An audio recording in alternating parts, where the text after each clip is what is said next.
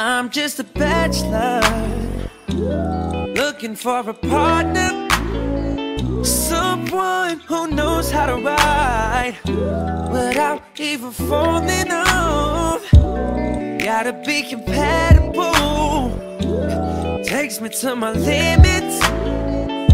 So, girl, when I break you off, I promise that you won't wanna get off. If